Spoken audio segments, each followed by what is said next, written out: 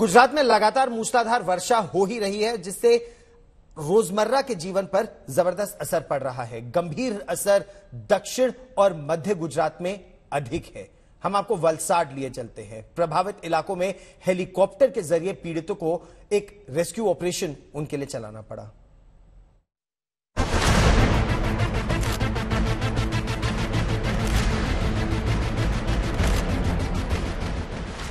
मानसूनी आफत की सबसे बड़ी मार पड़ी है गुजरात पर।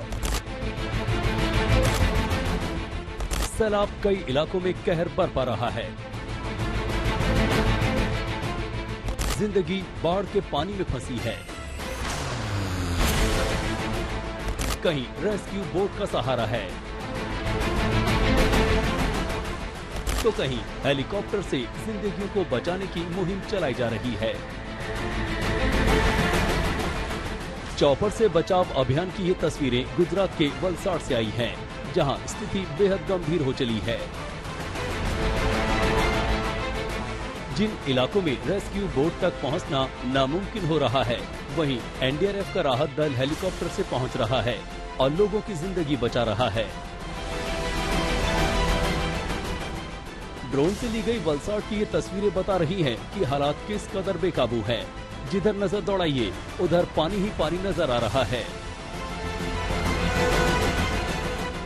उसी वलसाड़ की नई तस्वीर देखिए। कच्चे मकान पानी में डूब चुके हैं। वहाँ रहने वाले सुरक्षित ठिकाने पर जाने को बेबस हैं।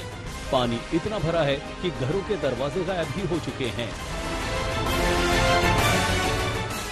वलसाड गंभीर रूप से प्रभावित जिलों में से एक है। रेस्क्यू टीमें अलग अलग हिस्सों तक पहुँच चुकी हैं।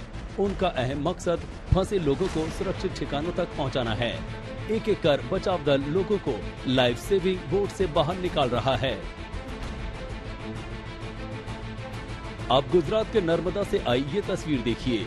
इतनी बारिश हुई और ऐसा सिस्टम टूटा कि रेलवे ट्रैक के नीचे से ही ज़मीन खिसक गई। नर्मदा में मूसलाधार बारिश ने मुसीबत बढ़ा दी है। नदियाँ उफान पर हैं। गरुड़ेश्वर डैम का हाल देखिए। भारी बारिश के बाद डैम ओवरफ्लो हो चुका है। अब अहमदाबाद का हाल देख लीजिए। तमाम इलाकों का हाल समंदर जैसा हो गया है। इतनी बारिश हुई कि सिर्फ़ पानी ही पानी नज़र आता है। इस बारिश ने करोड़ों की संपत्ति को नुकसान पहुँचाया है। कई गाड़ियाँ भी पानी में डूब चुकी हैं। वक्त हम मौजूद है श्यामल चौराहे के पास और यहाँ पे ये सोमेश्वर बिल्डिंग है। यहाँ पे आप देख सकते हैं कि जो बेसमेंट में रखी हुई गाड़ी थी, उसकी क्या हालत हुई है? पूरा जो बेसमेंट है, वो पूरा पानी से लबालब भरा हुआ है। जो गाड़ियाँ यहाँ पे पार्क की गई थी, वो गाड़ियाँ कुछ इस तरीके से पानी में तैर रही है इस वक्त। ये दृश्य अहमदाबाद शहर के है। यहाँ पे शहर के अंदर ही इतनी ज़्यादा बारिश हुई कि पूरा का पूरा बेसमेंट जो है, वो यहाँ पे पानी से लबालब भरा हुआ है। आप देख सकते हैं, नीचे सारी दुकानें हैं। इन दुकानों में लाखों करोड़ों का सामान होगा, जो पूरी तरीके से पानी में बर्बाद हो चुका है। आप देख सकते हैं, ये दूसरी गाड़ी है। एक ही बिल्डिंग में ये दो गाड़ियाँ यहाँ पे तैर रही है। अब आप एक इमारत के अंदर की तस्वीर भी देख लीजिए। खुद ब खुद गुजरात में मानसूनी तबाही का अंदाज़ा हो जाएगा। दृश्य अहमदाबाद की एक सोसाइटी का है, जहाँ पे आप देख सकते हैं कि घर के अंदर पानी आ चुका है और जिसके चलते जो पूरा सामान है, वो बर्बाद हो चुका है।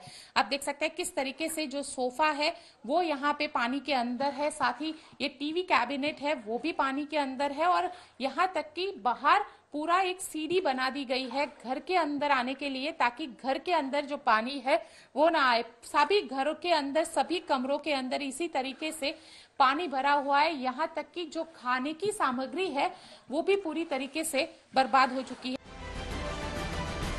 आज तक की टीम ने अहमदाबाद के तमाम हिस्सों का जायजा लिया है। परिमल इलाके में स्थित अंडरपास में भी इतना पानी भर गया कि यहाँ से गाड़ियों की आवाजाही बंद करनी पड़ी।